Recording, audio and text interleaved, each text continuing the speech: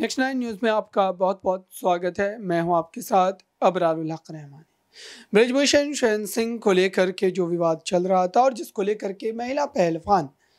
महीनों भर तक जंतर मंतर पर बैठी, लेकिन उसके बाद उनको सिला क्या मिला यह आप लोगों ने सभी ने देखा। लेकिन अब ये कहा जा रहा है कि सरकार ब्रजभूषण शरण सिंह पर सख्त हो रही है। भले ही उनके जो है, रवैये से सारी चीज़ें नहीं देखने को मिल रही हो, लेकिन इतना तय माना जा रहा है कि ब्रजभूषण शरण सिंह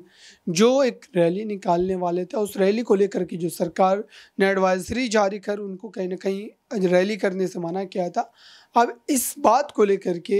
ये दावे किए जा रहे हैं कि सरकार का रवैया महिला पहलवानों के प्रति कहीं ना कहीं बदला है और प्रधानमंत्री नरेंद्र मोदी भी इस पूरे मामले पर अभी तक जो है नज़रें बनाए हुए हैं ताकि कम से कम जो विदेशों में देश की छवि को लेकर के सवाल उठ रहे हैं और या फिर आप कहें कि खेल की दुनिया में जो भारत का एक,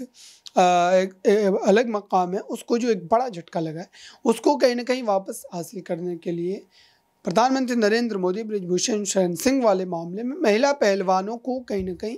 राहत ज़रूर दे सकते हैं। हालाँकि पार्टी के एक बड़े नेता होने के नाते ब्रिजभूषण का भी कहीं ना कहीं हाईकमान पर एक दबाव ज़रूर देखने को मिलता है या फिर आप कहें कि अभी तक जो कार्रवाई के नाम पर उनके खिलाफ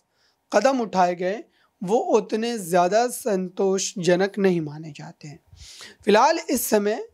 ब्रिजभूषण सिंह के लिए मामला आसान ज़रूर हुआ है, क्योंकि पॉक्सो एक्ट जो उन पर लगाया गया था, वो ख़त्म कर दिया गया है, क्योंकि उस नाबालिग लड़की ने ही अपने केस को वापस ले लिया था।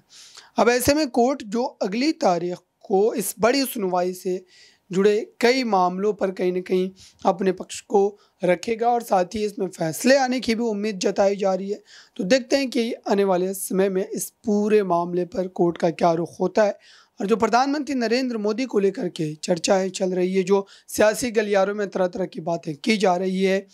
वो कितना ज़्यादा सच होता नज़र आता है, उसमें कितनी ज़्यादा हकीकत है। इस खास रिपोर्ट में बस इतना ही। देखते रहिए ताज़ा तरीन खबरों के लिए नेक्स्ट नाइन न्यूज़ को धन्यवाद।